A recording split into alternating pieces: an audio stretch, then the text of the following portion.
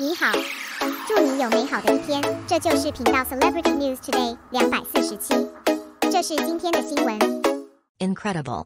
Xiao Zhan endorses coffee advertisement on the big screen in downtown Japan. So many fans stopped to take pictures and passers-by reacted brightly. After entering 2021, Xiao Zhan has made rapid progress in endorsements. And each endorsement is still a high, standard brand better than the previous form of the storm. Every time a spokesperson announces, with Xiao Zhan's powerful cargo, carrying ability, several brands had sales of more than 100 million that day. In turn, in order to give more support to Xiao Zhan, the brand promised to work in major cities in China. Even the global metropolis puts on commercial advertisements, promotes the brand at the same time, let Xiao Zhan brush face in the whole world. Xiao Zhan recently announced that a domestic coffee brand is a sponsor of the 2022 Hangzhou Asian Games. The specifications are high.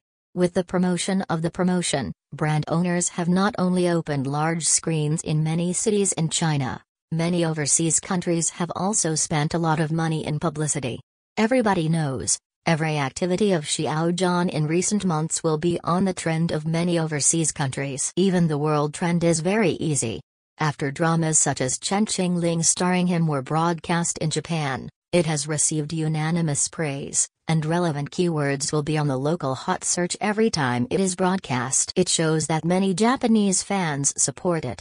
This time the coffee brand also has a big screen promotion in Japan.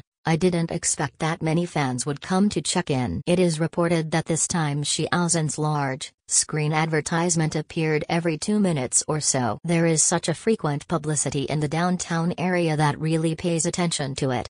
Even so, you can also find many fans of Xiao Zhan hold up their mobile phones to check in with a random shot. Even the pedestrians passing by were wondering what so many people were doing. Their expressions brightened. Before Xiao Zhan has been on the world trend many times, there are still many black fans who say that they are made by domestic fans. Now I just use live photos to slap my face directly, it's too relieved.